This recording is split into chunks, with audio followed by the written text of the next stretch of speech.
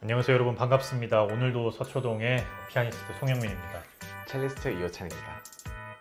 네, 어, 저희가 이제 오랜만에 만난 그 기간 동안 서초동에 정말 많은 일이 있었죠. 네. 어떤 일이 있었나요?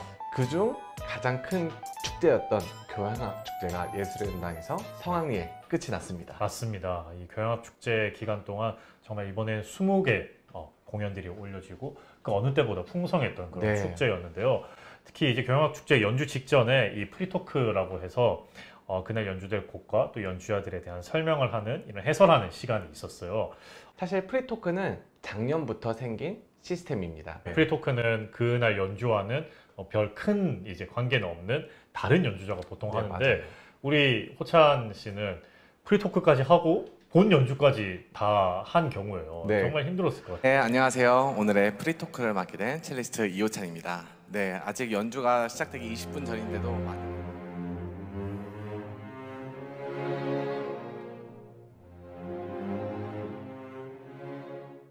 고생하셨습니다. 감사합니다.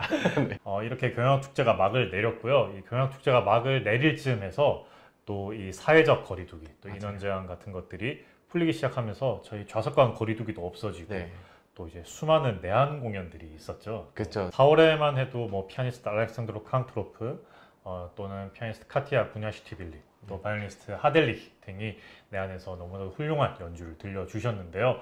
이제 저도 알렉상드르 캉토로프의 연주를 갔었습니다. 네, 오. 보러 갔었는데 제가 치는 피아노가 부끄러울 정도로 아이, 그 연주가 너무 훌륭해서 네. 와, 이렇게 음악은 깊고 아직도 배울 게 너무 많구나.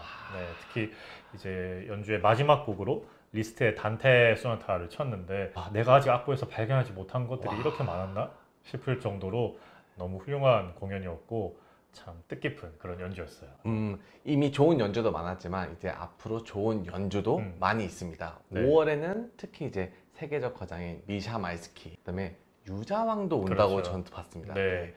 어, 이렇게 이제 해외 아티스트들의 내한 공연이 사실 이 자가격리라는 것이 없어지면서 조금 더 활발하게 되었는데요. 어, 이제는 우리 예전처럼 또 내한 아티스트들의 공연을 이렇게 편하게 들을 수 있는 날이 온 것 같습니다. 네, 그리고 또 정말 전설적인 거장 폴리니께서 네. 또 오시는데 네. 가격도 정말 전설적이라고 들었습니다. 이 마우리치오 폴리니의 첫 내한 공연입니다. 아, 첫 네, 그 거장이 그리고 네. 이미 여든 살이 넘으셨어요. 네. 보통 이렇게 내한 공연 아티스트들이 하게 되면은 이런 일정 때문에 조금 타이트하게 네. 예를 들면 연이틀 달아서 하는데 이번 폴리니 공연 같은 경우는 어, 연주를 하고 한 5일 정도 지난 뒤에 또 두 번째 연주를 예술연단 콘서트홀에서 두 번을 갔습니다. 그러니까 거의 일주일 정도를 폴리니가 한국에 머무는 셈인 거죠. 음. 네. 어, 폴리니의 연주를 본다는 것은 어떻게 보면 사실 또 얼마 전에 피아니스트 라두루프가 타계를 하셨거든요. 네. 그런 전설적인 거장의 연주를 볼 수 있다는 건 참 너무나 뜻깊은 일인데 오픈함과 동시에 전석 매진이 되었습니다. 어, 이렇게 마우리치오 폴리니 내한 공연 소식까지 저희가 짚어봤고요. 네. 또 다음 우리 서초동에 어떤 일이 있었죠? 네, 그간 4월에 이제 제가 시리즈를 하나 시작했습니다. 자, 여러분 사실- 우리 MC 찬에게 또 다른 이름이 붙었습니다.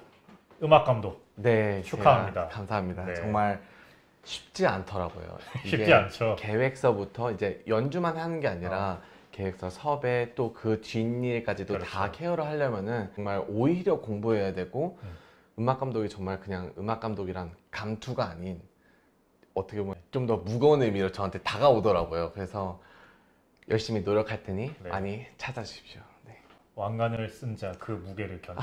어깨가 좀 내려갔는데. 네.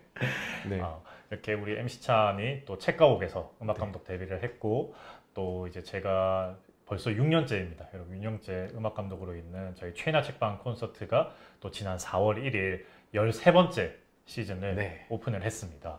그 중에 저희 두 번째 공연이 어, 이 멋쟁이 두 첼리스트 투첼로 밤인데 이호찬, 박건우 네. 추가 좌석까지 다 이제 오픈이 되면서 정말 많은 분들이 사랑을 해주셨는데 본인의 인기 비결이 뭐라고 생각하세요? 아우 아닙니다. 그냥 저는 사실은 이번에 연주를 하면서 네.